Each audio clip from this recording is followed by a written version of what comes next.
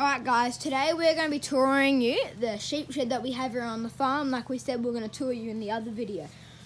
So in here we've got some slots where we start put some of our old stuff here. And there's no sheep in here at the moment, so and it's really rough walking up. We have a really rough staircase to get up.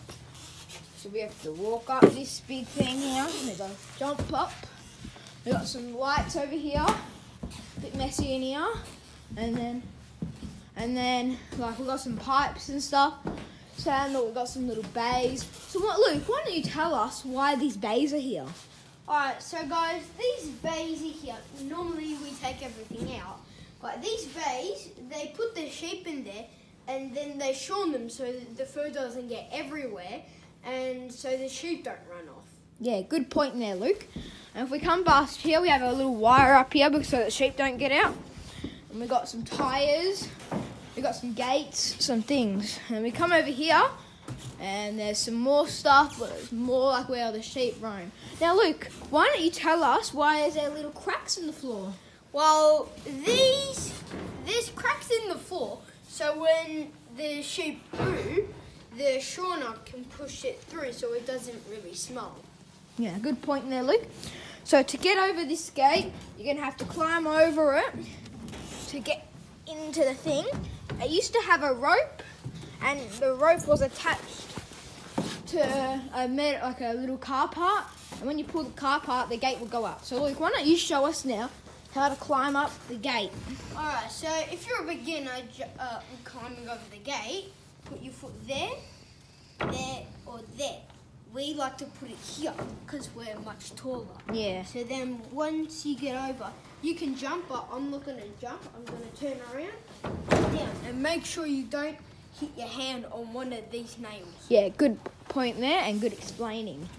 So we got some boxes over here.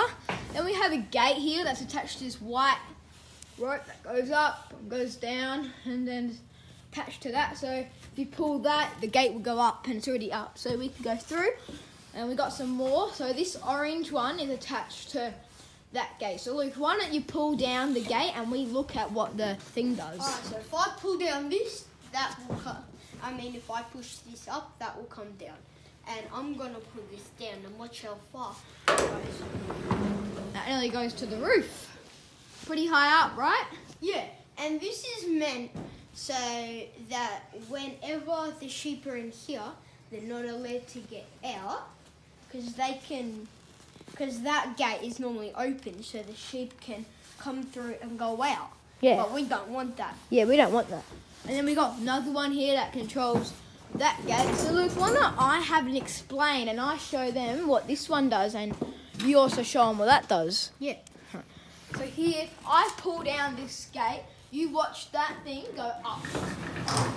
And go to, it can probably go to about the same height as that and I can pull it down more, goes down to the roof. And then I can pull it up all the way, not just to the top, close enough. I go over here, and if I pull this down, the gate goes up until it's max. That's pretty cool, right? Thought so. Alright, so why don't you show us the way out now, Luke? Alright, so what I'll do is Oh, and guys, make sure when you're coming in a sheep shed, watch out for these because you can smack your head bang on one of these and you could get a concussion. So why don't you go ahead and pull the gate up? Alright, so when you're pulling the gate up, this is to go all the way. It can go higher, but, but this is only that high. So if we put it any higher, the gate will fall off and that will come through the floor. Yeah, maybe hurt someone. So then you walk out here and you push this open.